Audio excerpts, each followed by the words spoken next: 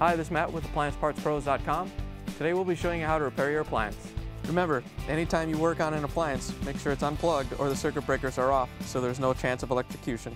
In this video we're going to show you how to change out the Maytag dryer fiber washer. It's going to be a very easy repair and it'll only take a few minutes to show you how to do it. If you already have one of these, great. If not, you can click on the link below or get it at AppliancePartsPros.com. When you open up the package, you're going to get the new fiber washer. The fiber washer goes on the drum support roller shaft. The main reason to be changing it out is if yours is worn out and the wheels are bumping up against the brackets, causing a squeaking noise. First thing we have to do is open up the door so we can take it off the dryer. We're going to use our Phillips screwdriver and remove the screws that hold the hinges on.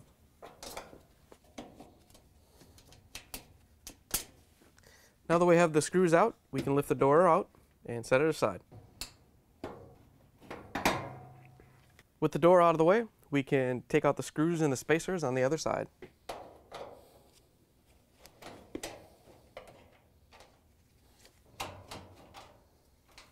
Now we can take the front panel and pull it off. All you have to do is grab it by the top and pull forward to release the clips. And then we can lift the front panel off the bottom two pegs. Now we can use our 5 16 nut driver to take out these screws that hold in these two brackets that hold the top down. Once you have the screw out, you can lift up on it a little bit and then rotate it out towards the outside of the machine and take it off.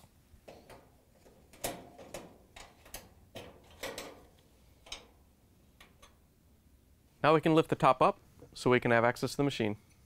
Now we can take this front panel off. We're going to use our 5 16 nut driver to remove these two screws. The third one we're going to leave in because that holds the other bulkhead in.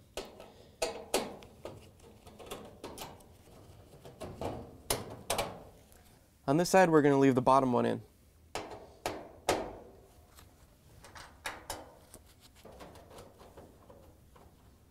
Now that we have those screws out, we can lift this panel off.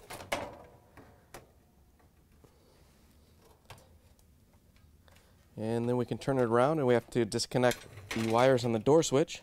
The door switch wires are the double red, the gray, and the white. Make sure you remember on your machine where they go.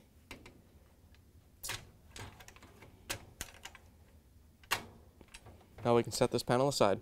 Now we can remove the wires from the light socket. Uh, make sure you remember where yours go. On this particular socket, the wires are two different sizes, so you can't mix them back up. Once you have those unplugged, we can come down to the moisture sensor. These wires are both blue and labeled the same because they really don't matter which way they hook up. So we're just going to rehook them up when we put them back in. Now we can take off this bulkhead. We're going to remove the remaining two 5 16 screws with our nut driver. Hold this up when you take the first one out so it doesn't fall off while you're removing the second one.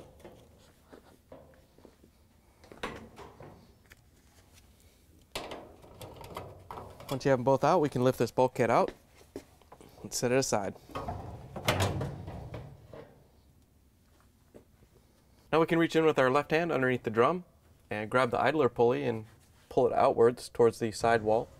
And then we can use our other hand to take the belt off the motor pulley.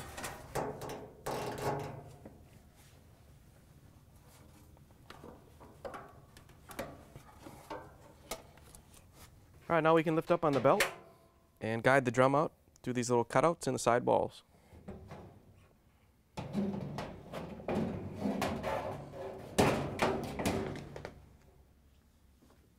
Now that we have the drum out of the dryer, you can see the two rollers, one on each side in the back. There's two washers on each roller, front and back. Make sure you change out as many of yours that are worn. In order to get the roller off, we're going to use a snap ring pliers to remove the snap ring. If you don't have a snap ring pliers, you can use a small flathead screwdriver and kind of get in there and pop it out of its channel. So we're going to use our snap ring pliers. When you put this on there, make sure you only stretch it out far enough to get it off that axle. You don't want to bend it out of shape. Now that you have it off, we can pull the wheel off. And there's the first washer. The second fiber washer is back against the piece of white metal that holds the axle. All you have to do is pop it off with a small screwdriver, and then you can pull it out. Here's the old fiber washer next to the new one. If you already have one of these, great. If not, you can get it at appliancepartspros.com. We already put the other washer on the back and the wheel is back on. Then we can put the new fiber washer on the front. And we're going to take our snap ring pliers and hook it up to the snap ring so we can put this back on.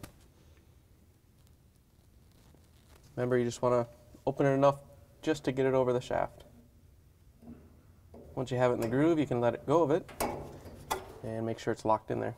You can pick up the drum with the belt and guide it through the little cutouts in the cabinet and set it on the rollers. Once you have it in place, make sure that the grooves are towards the drum and then we can go underneath and wrap the belt around the idler pulley. First we want to grab the idler pulley and pull it towards the side wall with your left hand. Then you use your right hand to make a loop in the belt and put it around the motor pulley.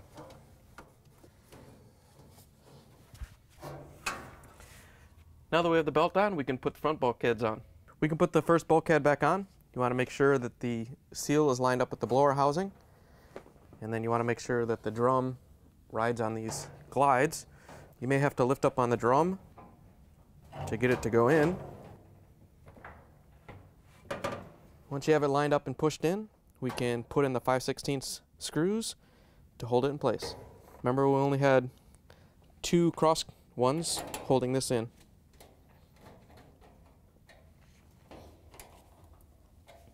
Now we can reach down to the bottom and pull the wire harness out. We're going to do the light socket first. Remember it was the blue and the gray, they're two different sizes.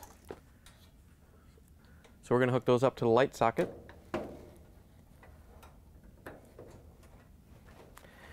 And then we're going to come down and grab the two blue ones that are the same. Remember these don't matter where they go. All we have to do is push them on the connectors. Here's the door switch. We're gonna put the wires back on now. Make sure you hook them up the same way you took them off. Ours was double red, gray, and white. Now that you have the wires hooked up, we can rotate this panel around and put it back on the dryer.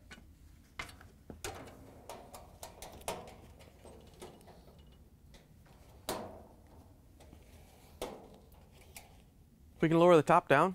You want to make sure that the little plastic lining pins go into the holes.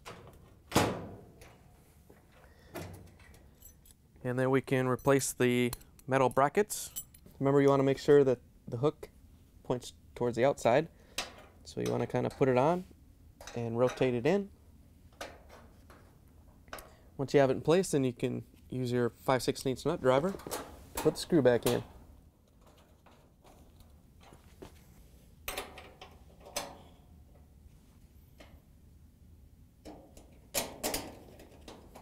We can put the front panel back on. You want to make sure that the holes on the lower panel go down onto the brackets. And then we can rotate it up and make sure that these locking brackets on the top snap into the holes. We can take our Phillips screwdriver and put in the Phillips screws and these little retainer tabs on this side.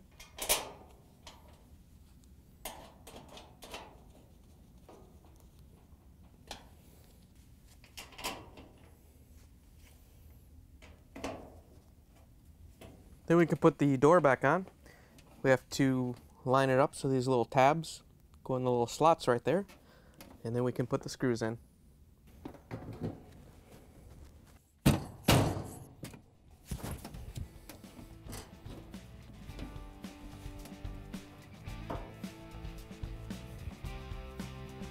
With the screws installed, we can close the dryer door. Now that you're done repairing the appliance, you can plug it back in and give it a spin. Thanks for joining us for another successful repair brought to you by AppliancePartsPros.com. Check out our other repair videos on our site, Facebook, and YouTube.